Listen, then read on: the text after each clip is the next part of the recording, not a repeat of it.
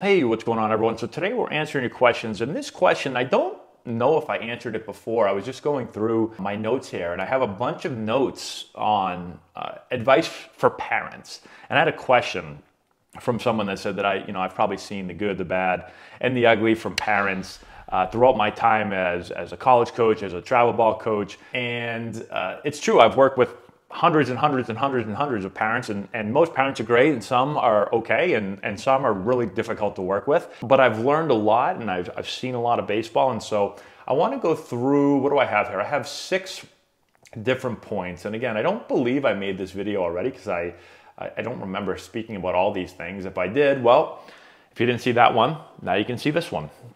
So here are my here are my six things that came to mind.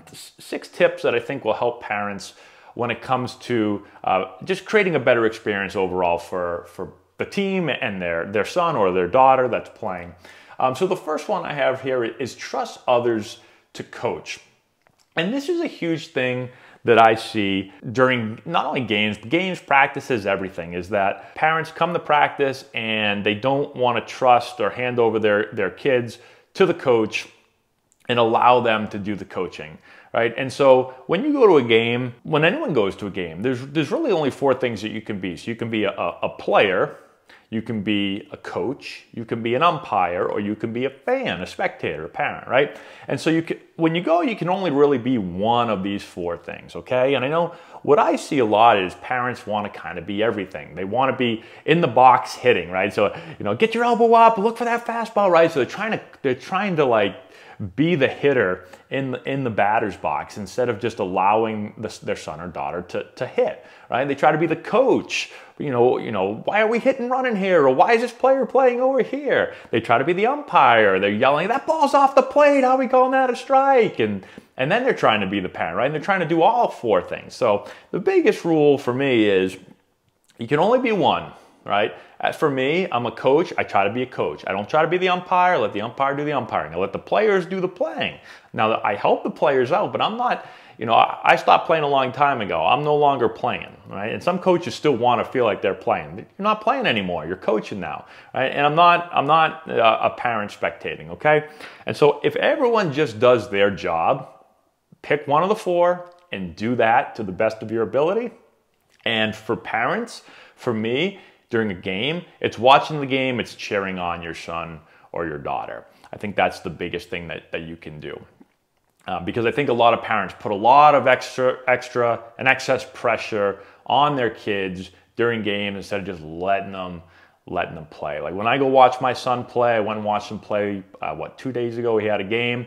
And, uh, and I know like he wants to make sure, like he had a double and he, he's always looking over to see if we're watching or whatever. I mean, I just sit there and I watch the game right? And I, I say good job. I, I, actually don't really yell. Um, I have no issues with parents, you know, getting up and yelling good job, whatever. I just, in my mind, I kind of say good job.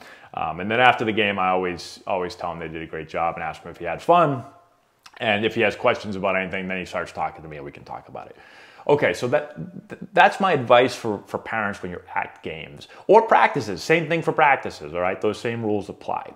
Um, trust others to be able to coach your kids. The next thing is limit being negative. So um, this doesn't just apply to the game, but this applies to the ride home as well. A lot of times for players, like the worst part of the day is the ride home after a tough game, and a player plays really poorly. Now I've seen parents scream and yell at their kids at the games, which is, which is crazy. Now maybe it's just because I've been in 400 million games in my life and I've been crappy in a lot of them. And I'm not trying to be crappy, okay? So what I try to do, especially during the game, like I don't, I don't give any tips or anything when I'm watching a game as a parent. I'm just watching the game. Like I said, I'm spectating and I'm cheering on.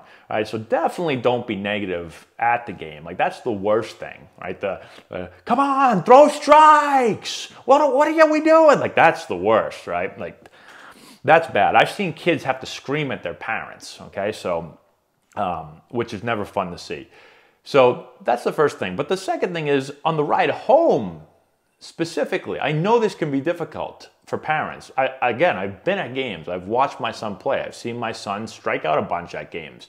And you want to try to help him, right? You want to get in the car. You want to see him be like, hey, man, like, you got to do this. You got to do that. You got to do this. So I understand that uh, I'm also a coach, right? So I'm a parent and a coach. And so not every parent is a coach. Uh, but even w- with that being said, I'm still very careful about, I don't want to be negative and I don't, I, I try not to like bring that up right when we get into the car or right after the game. I'll, I'll let him ask me about it. And if he doesn't want to, if he gets in the car and he just says he wants to go get ice cream, like just take him to get ice cream.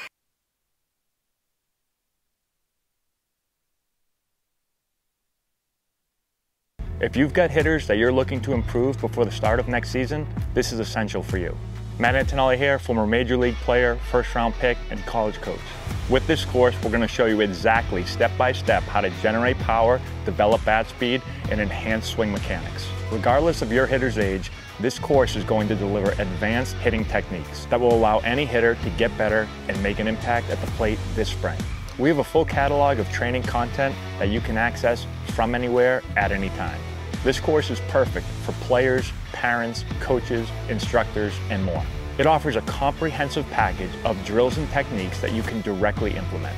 Our course has helped hitters all over the country at different competition levels, and the feedback that we've received has been outstanding. The work you put in now will drive your success at the plate this spring. Get the essential knowledge that you need to take your game to the next level.